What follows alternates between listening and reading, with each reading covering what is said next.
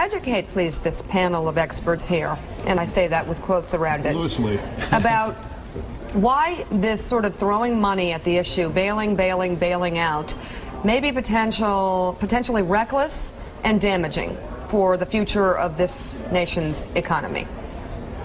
Well, in order to understand that, you have to understand how we got into this mess. We got into this mess by spending too much, borrowing too much, and inflating too much. Government was too big, and we had too many regulations. We had rejected the market economy for decades now. We have rejected the notion of sound money for decades. And we got our, into a mess this way. So, what is the proposal? Spend more money, borrow more money, print more money, regulate more so. So it makes no sense whatsoever. So we're going to make the problems much worse. We're doing exactly what we did in the 1930s. We are determined to take a serious recession and turn it into a depression if we don't change our ways. When governments spend money, they spend it in a non productive manner. And every penny the government spends, they have to take it out of a productive source of money. The money has to come from somewhere. Everybody talks about the money that's going to be spent and how about how many wonderful things will happen. But but they never say, where does the $825 billion come from? That's the question they have to ask, and they have to find an answer to that to fully understand why what we're doing is absolutely wrong. All right, Okay. Congressman, uh, Okay. let- let me answer. I mean, I understand where you're coming from here, I think, sort of. You know, but the house is already on fire, and I think no matter who, no matter Yeah, I what mean, we think how these the fire began, the house is on fire. Our house is on fire.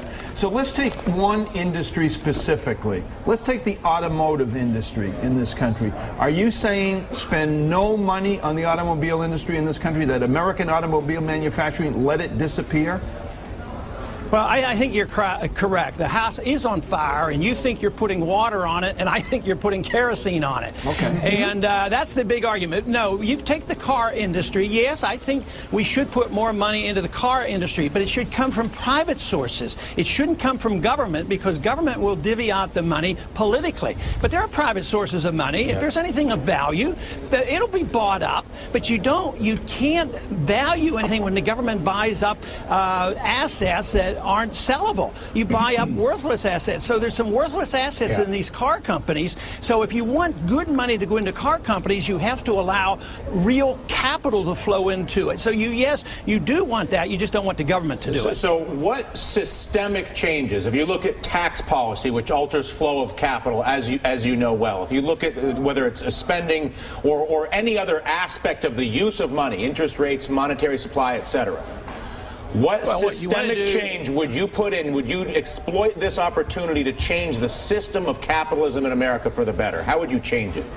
Get rid of the income tax. Get rid of corporate taxes. Get, and, and really lower taxes. But you have to lower spending. Would you add a can't consumption tax to make up for that? Would you would you put a consumption Oh, no. tax in? How would you make up for the lost revenue on income? tax? I agree with you on income and business tax. I just don't know where you get the revenue elsewhere. And I would argue Well, I'm not. I'm, not I'm not interested in getting the revenues. I want to cut spending. But the problem is, is nobody wants to cut the American empire. Even Obama's uh, administration wants to increase spending overseas and increase military spending. As long as you want to run the world empire at a trillion dollars a year, believe me, you cannot solve this problem. And that is where the crux of the matter is. So, yes, you have to cut spending along with cutting taxes. So to say, well, let's have a consumption tax, that's just transferring the, you know, the penalty to new victims. But you Well, I- want to get taxes down, you want to get rid of regulation. You don't want to do what we did after the Enron failure, pass Sarbanes-Oxley, you know, by the conservative Republicans. That's the fault. It's in the thinking that we need so much government. Mm-hmm. Co- Congressman, are you, are, Congressman, are you really saying that, that given the meltdown on Wall Street and some of the craziness that we saw at Citigroup and Merrill and other places, that there should be less regulation, not more in some cases? Yeah, we should have more on the Federal Reserve so that we know that we're doing. They're exempt from regulation, as is Treasury. We give Treasury $350 billion and we don't even know where they spend what it. about on That's Wall the Street, type of regulation you want. But what about on what on Wall Street? Do you do you not want to see on some of these derivative products? Do you not want to see there be some kind of regulation in terms Sure. of uh, of what the banks can do? Sure, anybody who commits fraud goes to jail, just as they did in Enron. We didn't need Sarbanes-Oxley to prosecute everybody in Enron through uh, through the laws of, of fraud. If they commit fraud, they go to prison. Just like Madoff, you, you, you know, we had all those regulations, SEC and everything else, and he got by. Did But- but- but- it but proves SEC not- didn't work. But Congressman, it's not just fraud in some cases. In some cases, people had very little equity put down and were leveraging things up tremendously. Should there not be regulation about how much equity you effectively have to put in the deal or how Yeah. much capital you have to have on your balance sheet? Sure, and if you understand uh, leveraging up equity and, and debt, you have to look at fractional reserve banking. That's where you pyramid debt. So they're doing exactly what the Federal Reserve does is they create money out of thin air and they pyramid debt. That's where the bubble comes from. That's why you have to look at monetary policy. Yeah. But you're looking at the symptoms rather than the cause. Congressman, hang, hang with me for a couple of seconds here. I am extremely limited. And 90% of this conversation that you've been having with Dylan and Carlos has gone way above my head. But your basic theory let's get government out of nearly everything. Let's swing back to what I do nearly every morning. I drive to work on roads filled with potholes, beneath bridges that are crumbling. What's the answer here? Do I go out and try and find six carpenters and some bricklayers and some masons to fix those bridges and bridges, roads and bridges? Government's got to do it. What, what, what's the deal here? What is your point of view about stuff like that? Basic reconstruction of this country. Okay, I know I can't have my perfect society quickly, but what I would do is quit bombing bridges in Iraq and then paying to rebuild them, and then wasting the money in the rebuilding over there. I would take that money, save it on the deficit, cut the deficit, and spend some on our infrastructure. That's what I would do, and we could do that. But as long as you do it through debt financing, it's impossible. Ideally, roads and bridges should have been taken care of by our states. It wasn't designed in the Constitution that the federal government would take care of every bridge and every road.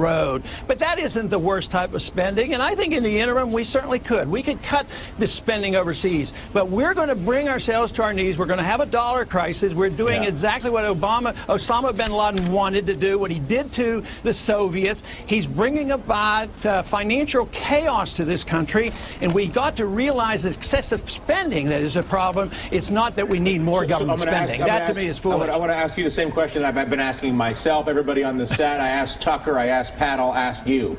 In reality, and forget the, the perfect, your perfect society, mine or anybody else's. In reality, we're going to lose millions of jobs over the next year or two. In reality, our banks have been mismanaged horribly as a result of both the bankers and the politicians, in my opinion. And we're now dealing with that.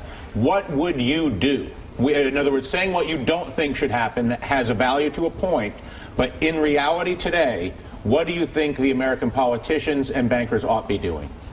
I wouldn't pretend that pouring kerosene on But you started with I wouldn't. I'm working. sorry to interrupt you, but I wanted you to start it with I would. Okay, what I would do is allow the liquidation of debt to occur.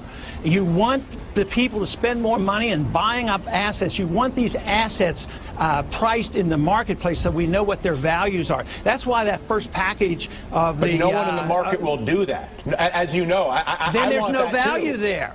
That's a good information. Then there's no value. Why should you dump that on the American taxpayers? That's a strong message Agreed. that if it's worthless, you don't dump it on the Agree, but taxpayers. that's backward why looking. our slump is getting worse. What? How do you get this country healthily to where, to your perfect society, where there's limited taxes and free markets and innovation reigns supreme, and me and Willie are on the beach, uh, you know, getting drinks served to us from robots? But that's not where we are today. H- how do you Well, get that? How do you, you have br- have how do you deal with the reality of the problems of this country? Well, the reality is you have to liquidate debt and get rid of the malinvestment. If you don't do that, you can't do it. But what you're doing now is you're working on the destruction of the dollar. There's a pretense that you're going to Yeah. improve things, but you're really going to destroy the dollar. And a financial I know the crisis that we I have my have concern. I don't- we today is going the to be a dollar crisis. Yeah. Hey, hey, c- I know the risks. Real quick, real C- quick. Congressman, quick question. Would you be willing to accept unemployment in the double digits, 14 to 15 percent for several years, if in your mind that's what it took to fix our fiscal house?